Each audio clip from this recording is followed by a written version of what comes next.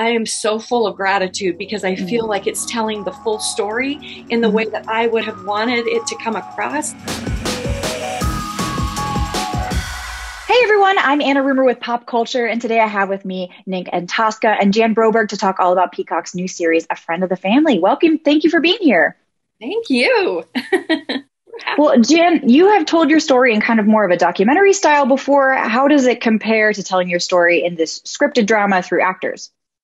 A scripted drama in nine parts with fantastic actors, an amazing production team, amazing writers is so I am so full of gratitude because I feel mm-hmm. like it's telling the full story in the mm-hmm. way that I would have wanted it to come across so that people can relate to it. Because this kind of abuse, even though my story's a little crazy, it's real people, real families, and the abuser or the predator or the groomer is either in the family or close to the family, and you just don't see it. So I wanted mm-hmm. to expose this kind of psychology, this kind of you know, manipulation. And I think the series does that. I'm so happy about it. Yeah, absolutely. I, have screened the series. It's wonderful. And, and Nick, I'm curious what kind of brought you together with Jan in the first place and what it was like putting this together and having her work so closely with you.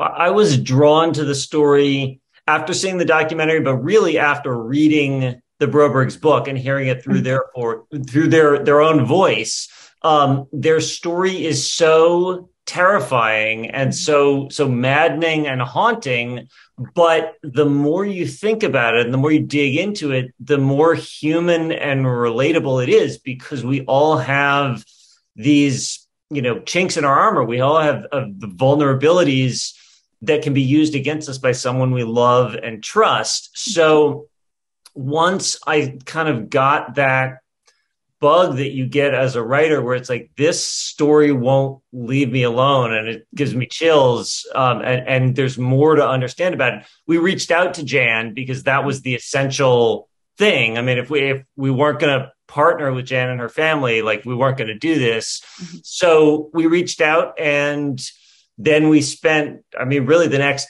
three years working on it since since then. Um, but we we talked for a long time and Jan and her family were so generous with their time and their story and their history and gave us so much that we could not have told the story without.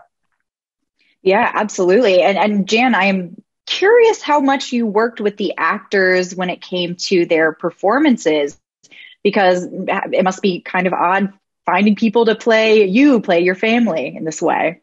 You know, the casting did such a, a, magnificent job. So I give credit first and foremost to, to those behind the scenes that made the right choices. Because mm-hmm. for me, I, I was able to write some letters to them, like before they came to set. I was in Atlanta and we were, you know, meeting with various departments, art department and costume design and doing a lot of that, you know, detail work to make it the story really livable, really rich, mm-hmm. really right in that time period. And I just had that feeling like if I could just write them a letter to let them know, to give them the license to bring their A game as they're mm-hmm. all magnificent actors, I, I wanted them to feel free to do that. And then I just gave a few little, here's some little things to know about my dad, about my mom, about me, mm-hmm. about Berchtold, you know, that make them full human beings that I think that was my way. And then they would they would text me and we would have FaceTimes and we would just talk about little things. Everything. Colin wanted to know what he'd be playing on the piano if it were my dad. Mm. My dad would wake us up to playing the piano on some, you know, Sousa march. And then we'd get up and go to school. And mm-hmm. so it was really nice because Anna and I had some of those exchanges and, and she wanted to meet my mom and we, we mm. were able to FaceTime. It was just, they were as lovely as they could be. And I was able to, to share what I could. But but they brought so much richness, richness to every single character that I was 100% happy. McKenna Grace and Hendrix Yancey, emotional intelligence out the wazoo. I love mm. those two girls.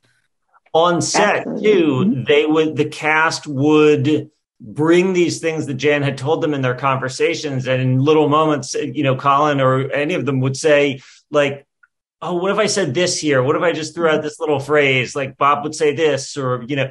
And and so that I think was really um, really enriched the the production and the storytelling.